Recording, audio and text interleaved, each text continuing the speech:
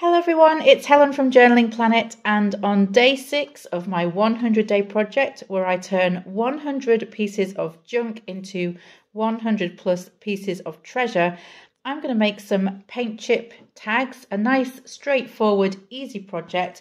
And if you don't have paint chips lying around, you can, of course, just use any card whatsoever and follow along with the tutorial. If you would like some free paint chips, then DIY stores are usually giving them away. So definitely ask at your local DIY store. These are the ones I had left over from when we moved house um, three years ago. And it's time to use them up and put them into a journal. I am not, I'd like to state for the record, going to use ink stamps today. I know that's shocking. I, I've thought about it carefully and I think it's the right choice, difficult though it may be. I think I over rely on my ink stamps sometimes. So today, I need to find a way of embellishing these tags without my trusty ink stamps. Oh boy, let's see how I get on. First things first, I do actually want these tags to be functional tags that people can write on the back of. Right now, there's a few things in their way. So I'm going to take some Amazon packaging paper and I'm just going to cover the back of these three tags.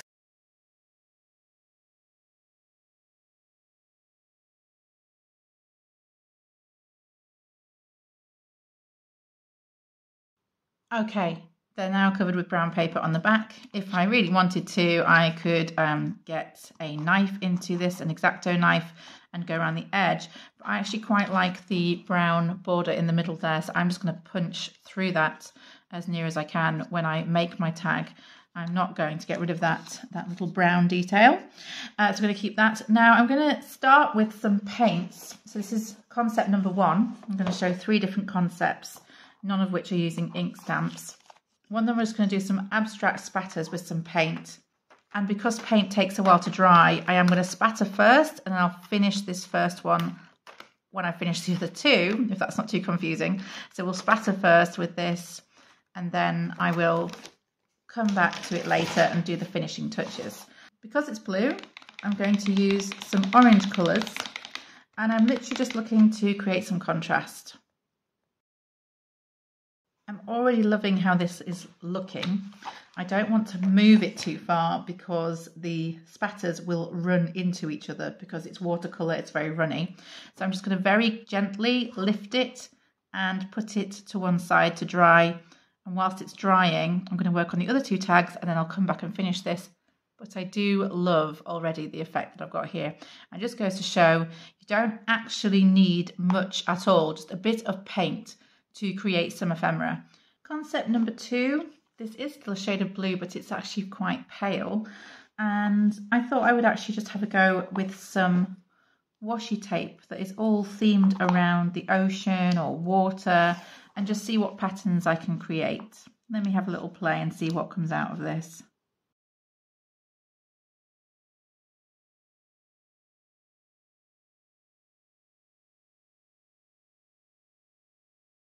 So what I like about this is it almost looks like a washi sample unto itself. It enables you to sort of catalogue, in a way, the washi tapes that you have enjoyed using. So I do like how it creates a sort of sample card of your washi tapes. The third concept is uh, is similar idea, but with paper. I'll show you that shortly. But I think for now, this works quite well as a sort of lovely themed sample card that's also a workable tag uh, for your journal with a back that you can write on. So it's doing double duty in some respects. It is reminding you of the lovely washi tapes you've owned and used over the years, and it's also a functional place to write. It is also prettying up your journal making it look beautiful. So it's doing a lot of different things at once.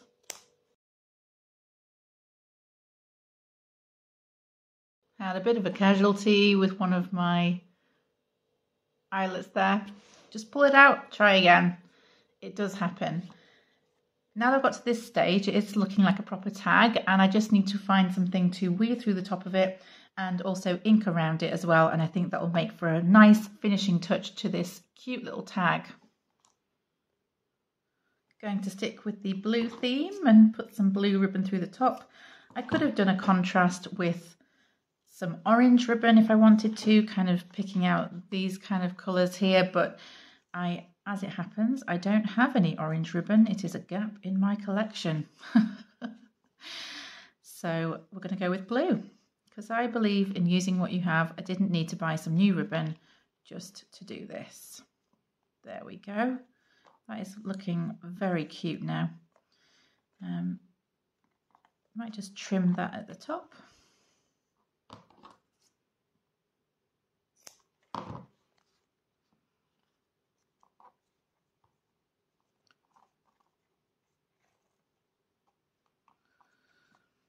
Find with this uh, silkier ribbon, I need to tie a knot at the top of a tag in order to secure it. Otherwise, it just starts slipping out. Not sure if any of you have had the same issue, but that definitely has happened on a few of my projects. So I just now, I just always tie a discreet knot so that it stays where it is. Right, we'll just get some ink around the edge of this and then we're done. So it is just the slightest hint around the edges actually quite difficult to pick out on camera, but in real life it is possible to see that the edges are now orangey, uh, just very faintly, and I think that just ties in nicely with this colour I've used here.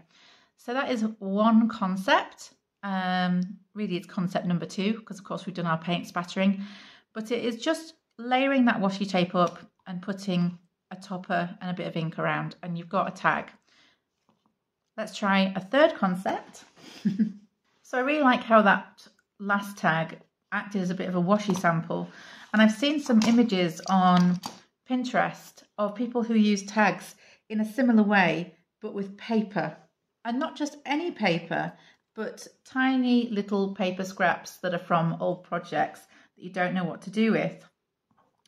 I think that these can look quite lovely, rearranged strategically on one of these tags. And actually so those three are quite neutral. I'm going to do a fourth one that's a bit of a wild card. It is essentially a piece of collage paper that I handmade. So that's a lovely little sample of some of the vintage papers that I've used in my projects recently and also some collage paper that I made myself what I'm going to do is I'm going to put a cursory amount of glue down. So it really is just a cursory amount of glue. I've left the corners sticking up and the reason is at the end of this project I am going to uh, go across both of these with my sewing machine for an extra piece of detail. This is me trying to use the things in my craft room that don't get as much use of my ink stamps or my stencils, which I always reach for. So I'm pushing the boat out today, people. I hope you appreciate it.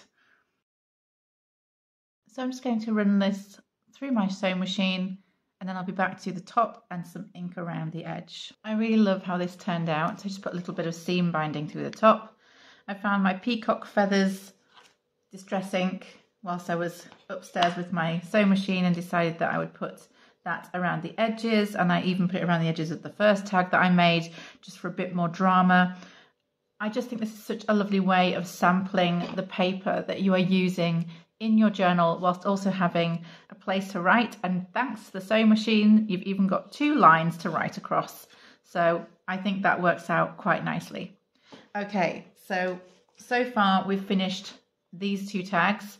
Let's go to our third, or if you like, our first tag that I did, where I just spattered it with orange paint and I just love how this has dried. It's so beautiful. Um, I'm going to do the finishing touches now.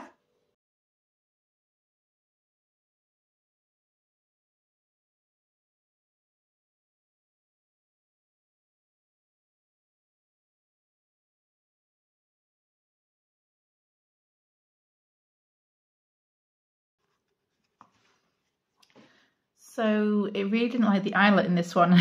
there must be something about the paper I've used to back it. It's just not sturdy enough. When I pulled this very thick ribbon through, it just came out.